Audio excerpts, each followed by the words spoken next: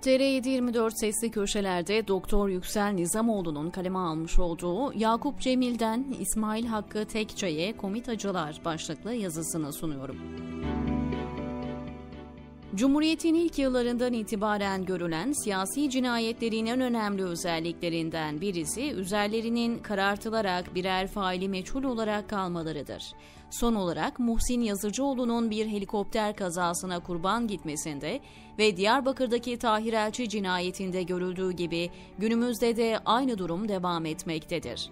Siyasi iktidarlar için tehlikeli görünen kişileri ortadan kaldırmaya amaçlayan siyasi cinayetlerin Osmanlı'dan devralındığı söylenebilir. Özellikle Osmanlı'nın son döneminde komitacılarla örtüşen cinayetler Cumhuriyete de intikal etmiş ve belki de bir geleneğe dönüşerek devletin bekası için illegal yollara sapmayı ve adam öldürmeyi vazife bilen anlayışla varlığını sürdürmüştür. Komitacılar Komitacılık, siyasi iktidarların legal yolla çözemedikleri konuları illegal eylemlerle çözmek amacıyla yapılan faaliyetler, komitacılarda bu faaliyetleri yapan kişiler olarak tanımlanmıştır. Bu tanım zihinlerde derin devlet çağrışımı yapmaktadır. Türk siyasal hayatında 20. yüzyıl başlarına dayanan komitacılık, Balkanlarda Bulgar milliyetçilerinin Makedonya'yı elde etmek için örgütlenerek her yöntemi meşru gören faaliyetlere başlamalarıyla ortaya çıktı. Bulgarları Makedon, Sırp ve Yunanlılar takip etti. Bulgar komitacıları Sofya merkezli olarak faaliyet gösteriyor, halk bu hareketlere destek vermeye zorlanıyordu. Böylece Makedonya Makedonyalılarındır ilkesi doğrultusunda bu hareket yaygınlaştı. Amaç Makedonya'nın önce özerk olması, sonra da bağımsızlığa kavuşmasıydı. Komitacıların en çok başvurdukları eylemler karışıklık çıkarmak ve suikastler düzenlemekti. Her şeyi göze alan komitacılar ya istiklal ya ölüm sözünü slogan olarak benimsemişlerdi. Osmanlı subayları ise bu faaliyetlere aynı yolla yani komitacılar kurarak cevap verdiler. Bu yapı İttihat ve Terakki ile bütünleşti ve İttihat ve Terakki her zaman komite, İttihatçılar da komitacı olarak adlandırılır. Komitalar İttihat ve Terakki ile birlikte bir üst kimlik elde etseler de Cemiyeti Hafiye, Fedai Zabıtan ya da komitacılar olarak adlandırılmışlar ve birçok faili meçhule karışmışlardır. İçlerinde sadece askerler değil, sivillerin de yer aldığı komitacılar, İttihat ve Terakki iktidarlarında teşkilatı mahsusa içinde faaliyetlerine devam ettiler. Devlet içinde devlet olmakla itham edilen komitacıların efsanevi ismi Yakup Cemil olsa da Deli Halit Paşa, Kuşçubaşı Eşref gibi isimler de öne çıkmıştır. Cumhuriyet devrinin öne çıkan komitacısı ise İsmail Hakkı Tekçi olmuştur. Yakup Cemil iddiatçıların tetikçisi olarak görülmüş ve orduda bile korku salmış birisidir. Nitekim görüldüğü yerde savunun Yakup Cemil geliyor denilip herkesin sağa sola kaçıştığı rivayet edilmektedir. Yakup Cemil iddiatçıların Makedonya'daki çetecilik faaliyetlerine iştirak etmiş ve meşrutiyetin ilanı sonrasında İstanbul'a gelmişti. İttihat ve Terakki devrinde işlenen siyasi cinayetlerde hep onun adı öne çıktı. Örneğin muhalif gazeteci Ahmet Samim Bey'in öldürülmesinde cinayetin Yakup Cemil tarzı olduğu söylendi. Babali baskınında Harbiye Nazırı Nazım Paşa onun silahından çıkan kurşunlarla can verdi. Bu olayla şöhreti iyice artsa da bir taraftan da iyice başına buyruk oldu. Bir türlü durdurulamayan Yakup Cemil Kafkas cephesinde yaşanan her yenilgiden sonra yanındaki yardımcılarından birisini öldürüyordu. Bir keresinde 16 eri öldürünce bu cepheden sürüldü ve teşkilat-ı mahsusadaki görevlerine son verilerek geri hizmetlere verildi. İyice çığırından çıkan Yakup Cemil İstanbul'a çağrıldı. Aslında bu Yakup Cemil'in sonunun geldiğini gösteriyordu. Yakup Cemil Enver Paşa'dan beklediği ilgiyi göremeyince paşayı tehdit edecek kadar ileri gitti. Yakup Cemil'in gözden düşmesinin önemli bir nedeni olarak Atatürk'ün Falih Rıfkı Atay'a anlattığı bir hadiseden bahsedilir. Hikmet Bayur da Atatürk'ün Hayatı ve Eseri adlı kitabında Komutanlar Komplosu başlığıyla bu hadiseye yer vermiştir. Buna göre Yakup Cemil bir darbe yaparak Enver Paşa'yı devirmek ve Mustafa Kemal Paşa'yı sadrazam yapmak istemişti. Ancak darbe planı haber alınınca tutuklanarak bugün İstanbul Üniversitesi'nin merkez binası olan Bekir Ağa bölüğüne konuldu. Hakkında idam kararı verildi ve kurşuna dizildi. Efsaneler ölümünden sonra da devam etmiş. Rivayete göre Yakup Cemil'in yere akan kanları İttihat Terakki yazmıştı. İsmail Hakkı Tekçe Komitacıların en meşhurlarından birisi Yakup Cemil olsa da Çerkez Ethem ve kardeşleri Kuşçubaşı Eşref ve kardeşi Hacı Sami, Sapancalı Hakkı, Topçu İhsan, Süleyman Askeri, Deli Halit Paşa ve İsmail Hakkı Tekçe de önemli isimlerdir. Mustafa Kemal'in de yolu daha çok Halit Paşa ile kesişmiş ve Paşa Ankara'ya geldiğinde Kazım Karabekir'den Halit Paşa'yı talep etmişti. Halit Paşa bulunduğu yerden ayrılamadığından yerine İsmail Hakkı'yı göndermiştir. İsmail Hakkı Tekçe de Atatürk'ün ölümüne kadar yanından ayrılmamış ve en sadık adam olarak hizmet etmiştir. Mustafa Kemal Paşa'yı koruyacak muhafız alayını kuran Tekçe, Vehbi Koç'un ifadesiyle binbaşı olduğu halde general kadar otoritesi olan ve Yakup Cemil gibi etrafındaki kişilerin korktuğu bir subaydı.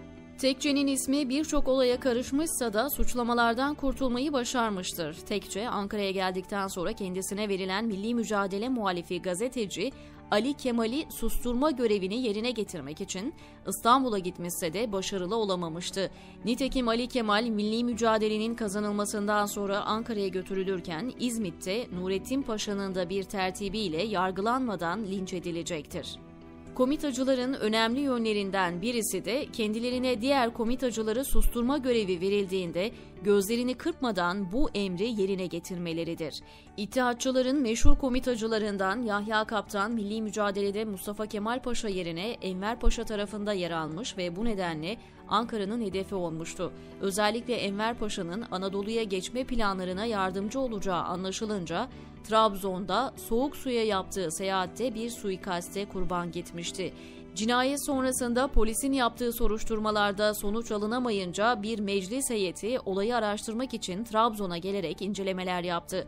Şüpheler Giresunlu Topal Osman Ağa üzerinde yoğunlaştı ancak Atatürk'ün muhafızı Tekçe cinayetten 55 yıl sonra yayınlanan anılarında Yahya Kaptan'ı kendisinin öldürdüğünü yazmıştır. Yahya Kaptan'ın öldürülmesiyle eski iddiatçılara Enver Paşa'yı desteklemenin faturasının ne olacağının hatırlatıldığı anlaşılmaktadır. İsmail Hakkı Tekçe'nin adının karıştığı bir başka olay da Topal Osman'ın öldürülmesi hadisesidir. Bu süreç Mustafa Kemal Paşa'nın başında bulunduğu birinci gruba muhalif Trabzon mebusu Ali Şükrü Bey'in öldürülmesiyle ortaya çıktı. Ali Şükrü Bey mecliste aktif bir muhalif olarak öne çıkmış bir isimdi. Ali Şükrü Bey cinayeti muhaliflerin susturulmasında bir dönüm noktası olmuştur. Bu cinayetle bütün muhalefete çok önemli bir mesaj verilmiş, örneğin Mehmet Akif'in 1936'ya kadar devam edecek Mısır sürgününde bu olayın önemli bir rolü olmuştur. Lozan Konferansı'nın devam ettiği sırada ve meclis seçimlerinin yenilenmesinin gündemde olduğu bir dönemde Ali Şükrü Bey aniden ortadan kaybolmuş ve cesedi günler sonra bulunarak cinayetin Topal Osman tarafından işlendiği iddia edilmişti. Muhalifler olayı ittihatçıların ikinci meşrutiyet dönemindeki faili meçhul cinayetlerine benzetmekte ve bu durum siyasi ortamı iyice gerginleştirmekteydi. Ali Şükrü Bey'in cesedinin Topal Osman'ın evinin 500 metre yakınında bulunmasıyla tek şüpheli Topal Osman olmuş ve Mustafa Kemal Paşa da İsmail Hakkı Tekçe'ye Topal Osman'ın ölü veya diri ele geçirilmesini emretmişti. Topal Osman bunu duyunca Mustafa Kemal Paşa'nın katıldığı köşkü basmış ve üst katı kurşuna tutmuştu. Bu esnada Mustafa Kemal Paşa ve eşi Latife Hanım köşkte değillerdi. İsmail Hakkı ise adamlarıyla birlikte harekete geçerek Topal Osman ve 12 adamını öldürmüştür. Böylece kamuoyuna Ali Şükrü cinayetinin şüphelisi Topal Osman'ın ortadan kaldırıldığı mesajı verilmiştir. Fakat Ali Şükrü Bey cinayetiyle ilgili şüpheler ortadan kalkmadı. Topal Osman'ın yakalanması yerine susturulmasının tercih edilmesi, failin başka biri olduğunu gündeme getirdi. Bir süre sonra da asıl failin İsmail Hakkı Tekçe olduğu iddiası ortaya atıldı. Ama Tekçe sağlığında bu cinayetten de yargı önüne çıkmadı. Komitacı İsmail Hakkı Tekçe'nin ismi sonraki yıllarda unutulsa da Yakup Cemil bir efsane olarak varlığını devam ettirdi. Bazı siyasiler başları sıkıştığında veya muhalifleriyle başları derde girdiğinde ah Yakup Cemil sağ olsaydı demeye devam ettiler. İttihatçılar devleti yıkılmaktan kurtarmak için komitacılara ihtiyaç duymuşlardı. Cumhuriyet idaresi de yeni rejimi kurarken ve devrimleri yaparken aynı komitacılardan yararlandı. Ancak her iki dönemin faturası günümüze birçok faili meçhul olay bırakmak oldu. Sonraki dönemlerde de devlet beka sorunu hissettiğinde aynı yöntemlere başvurmaktan çekinmedi. Kamuoyu günümüze kadar faili meçhul cinayetlerin aydınlatılmamasına çoktan alıştığı gibi çoğu zaman tetikçiler devlet için kurşun sıkan kahramanlar olarak lanse edildiler. Nitekim Osmanlı arşivlerindeki bir belgeye göre Yakup Cemil'in vefatından sonra eşleri ve çocuklarına Osmanlı hükümeti tarafından maaş bağlandı.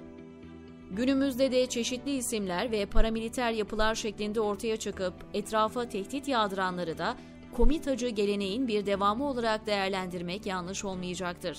Nitekim zaman zaman ortaya çıkıp muhalifleri tehdit eder tarzda konuşabilmeleri bu cesaretlerinin arkasındaki gücü de açıkça göstermektedir diyor Doktor Yüksel Nizamoğlu TR724'teki köşesinde.